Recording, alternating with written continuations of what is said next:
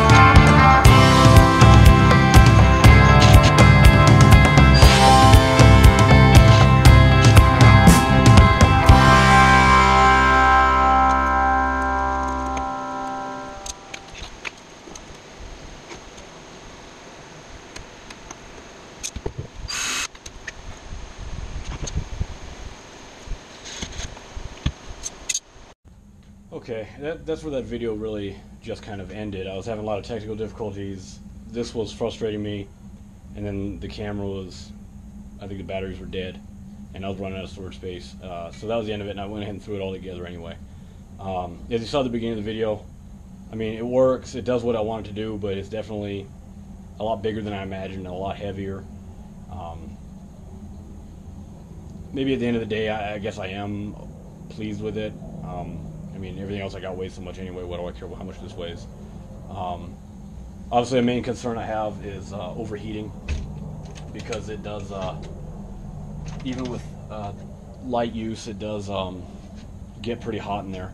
So it's one of those things where I probably, if I was to like be running it continuously using a die grinder or something like that, I'd probably have to have the uh, um, door open if I was, um, which I think would then actually make it louder because it resonates it. Um, but it's surprisingly loud to begin with.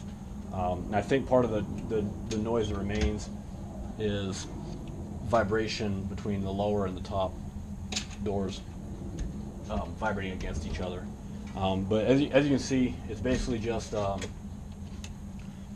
I took a 2x4, uh, ripped it down the middle, uh, miter cut it, and then I sandwiched it with some scrap MDF that I had and some scrap uh, particle board on the inside that I had from when I tried to insulate my dust collector that I ended up getting rid of, which then freed up all this uh, particle board and that insulation, which is what I sandwiched in here um, all the way around. So it's, you know, what is that, one and a half inches thick um, with the insulation inside.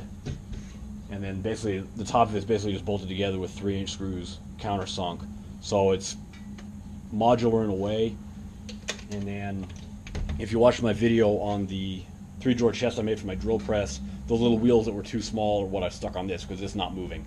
Um, the tank on the side, uh, further research, I should have just left it up. And honestly, it's not even connected. It's just hanging by gravity right now. So I can still move it and then create a water trap. Uh, if you look at them on Pinterest or anywhere like that, you'll see them hung above the air compressor with uh, some sort of water trap in the meantime.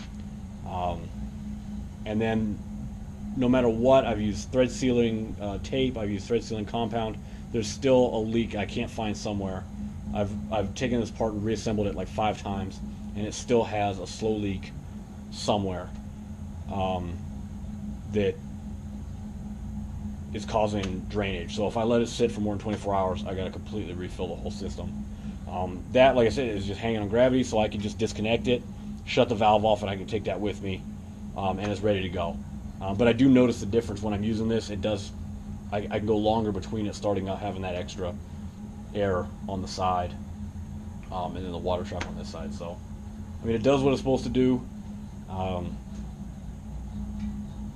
can't necessarily say I'd recommend it. Ideally, I you know have this in a separate room, you know, like outside, like like if I could do that with this and a dust collector, it'd be amazing. So you know, once I stop moving around and I have a place where I can make my own, that's definitely what's going to happen. Is this and the you know whatever air compressor I have at the time, the dust collector, they're going to get their own room. They'll be outside, away from me, completely isolated. So since everybody in my neighborhood wants to drive by and make all kinds of noise in this moment, this will be the end of the video. Thanks for watching. Um, like and subscribe and, and you know check out the Facebook page and the Etsy store. Thank you.